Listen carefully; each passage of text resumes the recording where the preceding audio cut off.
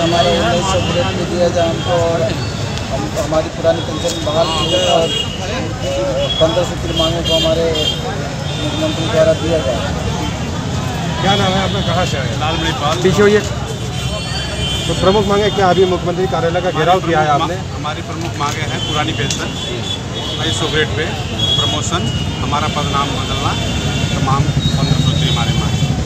मांगे नहीं पूरी होती क्या करेंगे आप? हमारी मांगे पूरी नहीं होती तो हम Gracias.